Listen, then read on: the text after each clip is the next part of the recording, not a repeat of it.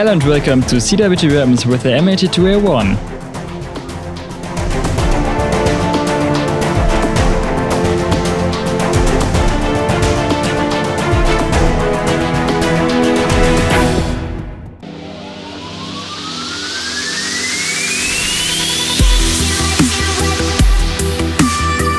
The Barrett M82 is one of the most recent additions to the game.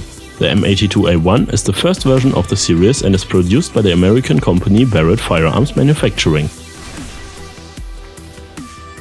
The M82A1 is mainly used against lightly armored vehicles, aircraft and other targets like radar antennas, missile positions and to dispose of unexploded bombs. Another function is the fight against hostile snipers due to the relatively high effective range and the high penetration. For aimed shots against persons on extreme distances of 1200 meters and more, however, the precision of this rifle is not sufficient due to its design.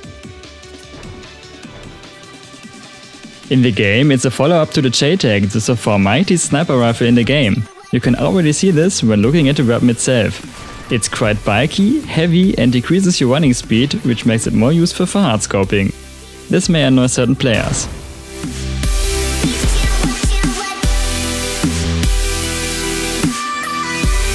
The main reason to buy this weapon is its seamless infinite damage output.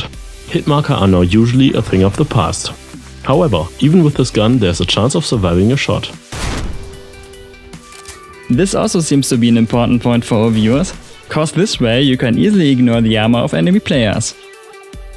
Also quite popular is the quick weapon switch after each shot. With this gun however, this brings advantages and drawbacks at the same time. If you don't switch the weapon, you are staying zoom in and you can shot a little bit faster. Shooting too fast, however, heavily affects your precision.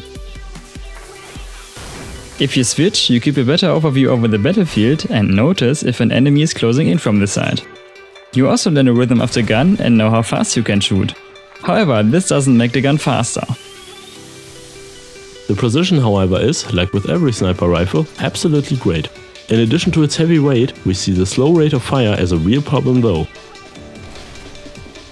In this case we compared it to the M40A1.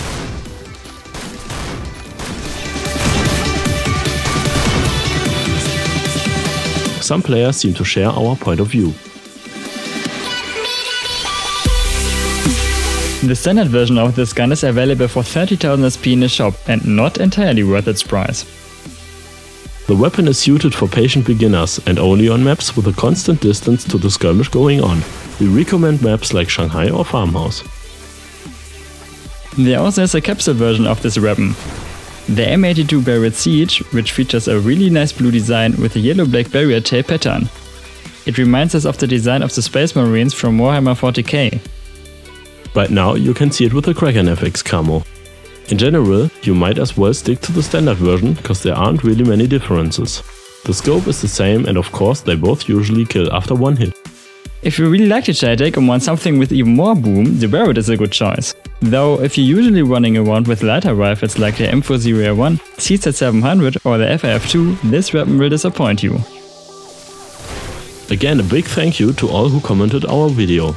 The winners of this episode are Andrich Gamer, Fabian Rambaut and Your Game Over 16. You'll find the code with your prize in your YouTube inbox.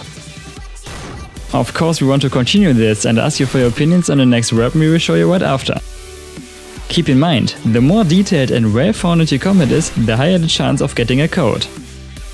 You can get an additional code if you send us your gameplay at frags at showtime-foxdevil.de and it appears in the next episode.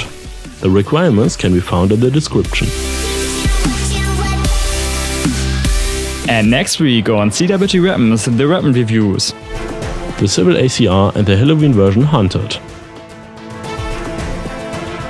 Next Tuesday at 2015. On Showtime Gaming.